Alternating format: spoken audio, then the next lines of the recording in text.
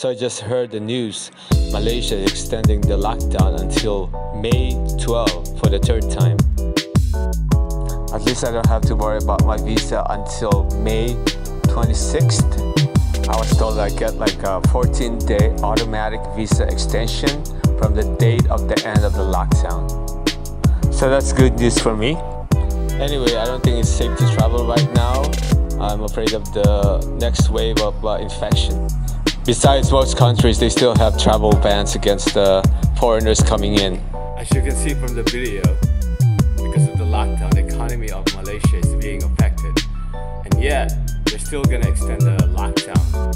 So uh, it just shows that uh, they're more concerned about the people's uh, lives rather than just the economy.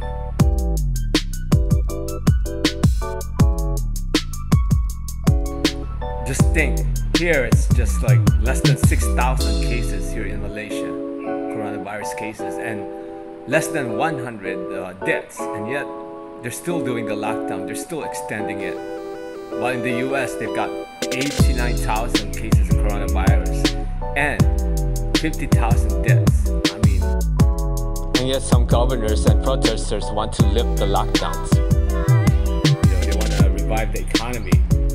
In Malaysia, they don't care much about the economy right now, they care about the people, the lives of the people. Look at the difference between the United States and Malaysia. The United States has 889,568 confirmed cases of coronavirus and 50,177 deaths. But Malaysia only has 5,603 confirmed cases of coronavirus and 95 deaths. But Malaysia is still extending its uh, lockdown for the third time. While in the US, some of the governors and the protesters they want to uh, lift the lockdowns early. And the protesters they are verbally abusing the nurses, the medical workers who are trying to save lives. It's going crazy in the US. I feel like the US is gonna get much worse, you know. Especially with the protest and the bad leadership. Yeah, I might as well stay here in Asia. I feel much safer here. In 1918, the world went through the Spanish flu pandemic and survived. So I'm sure we're gonna survive this again. I just hope it doesn't take long. The Spanish flu pandemic, I think it lasted for three years. So hopefully this one will be over soon.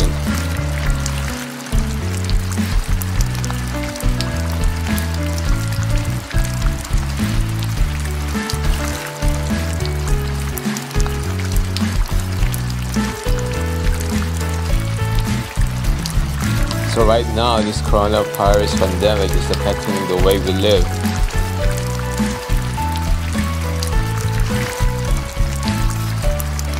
It just shows that uh, nature has more power than us.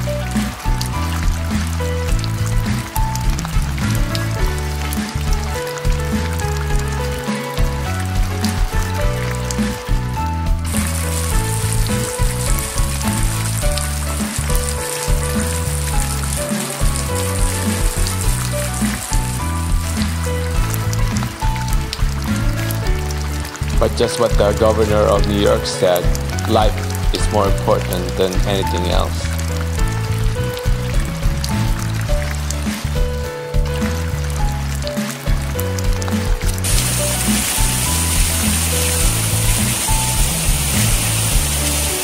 There's still a possibility we can uh, get the job we lost, also the income that we lost.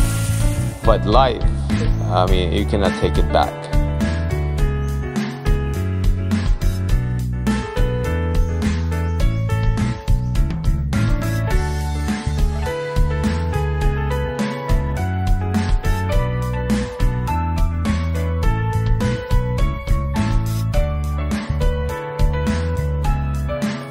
For sure, there's a silver lining to this uh, situation. For me, I just realized that we're all very uh, interconnected. No man is an island. And here's more lessons learned from this uh, coronavirus pandemic.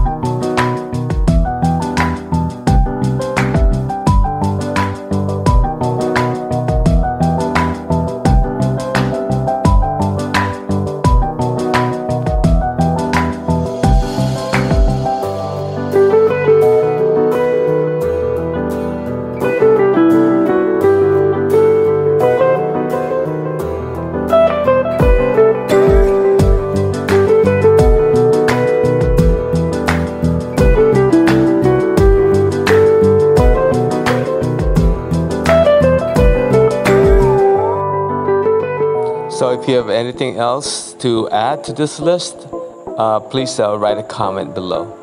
Thank you.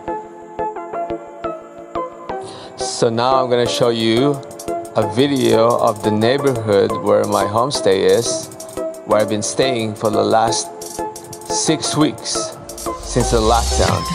And we'll probably be here until the end of the lockdown and two weeks after that before I leave uh, Malaysia, before the end of my uh, visa, if I don't get to renew it again.